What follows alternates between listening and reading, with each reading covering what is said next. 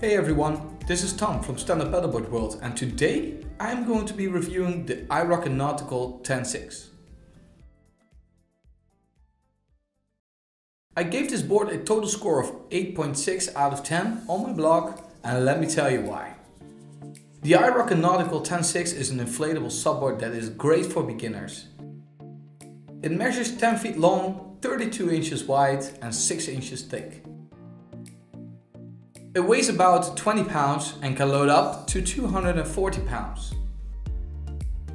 It has a total of 17 D-rings, 6 on the nose and tail, 4 D-rings for a kayak seat attachment or other additional accessories, and 1 D-ring for the leash.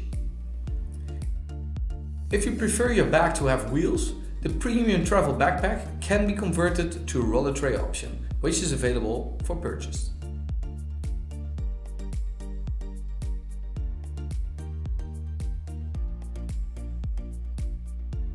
Now let me see what's inside the box.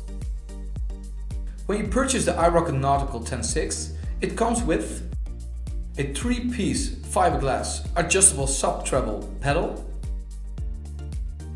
a single chamber as well as a dual action hand pump. It also has a 10 inch coiled leash, a 3 detachable flip lock fins and a large center fin, a repair kit with patches and a hand wrench tool, and a lightweight SUP backpack that is nice and compact.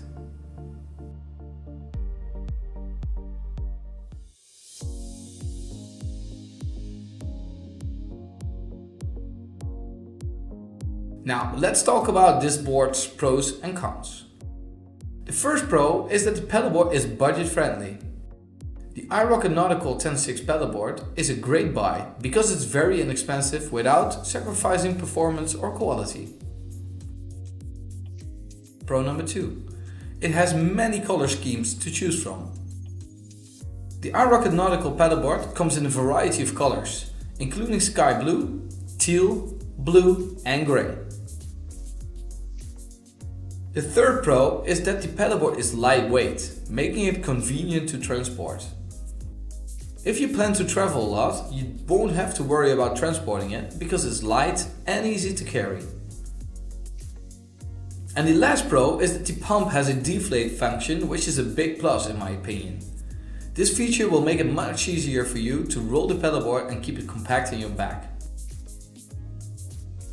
For the cons, the first would probably be that it would be much better if they added more action mounts so that the other accessories could be attached to. There's only one action mount on the iRocker Nautical paddleboard, however because it has D-rings you can easily attach two, you can buy extra mounts to attach additional accessories if desired. And the last con is that I noticed that the maximum weight capacity has been reduced in comparison to the previous version. It would be preferable if the Nautical 10.6 had the same maximum weight capacity as its previous version. Nonetheless, this paddleboard is fantastic and can be enjoyed by a group of people.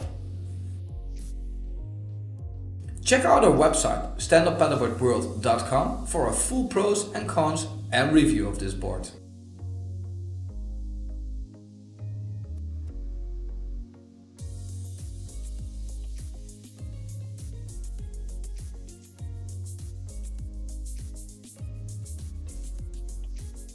As I mentioned, this board is perfect for beginners without any SUP experience.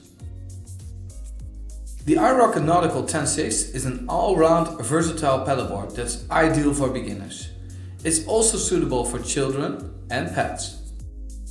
This board is intended for those looking for a lightweight, budget-friendly option. It has above average maneuverability, stability and speed.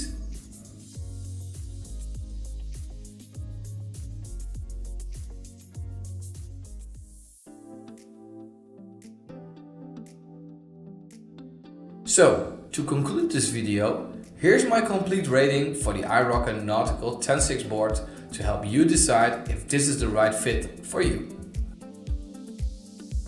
For the board stability, 8 out of 10. For the supplied accessories, 7 out of 10. For overall performance, 9 out of 10.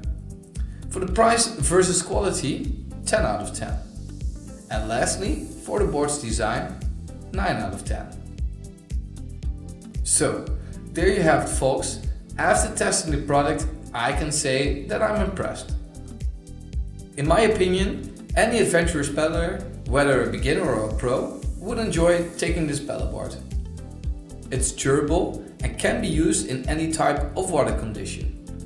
The quality and price of the iRocker Nautical 10.6 will not disappoint you. You can check out the link below if you want to get an iRocker Nautical yourself. And for more reviews like this, check out my website, subscribe to my channel or follow me on Facebook or Instagram. See you in the next video. Bye bye.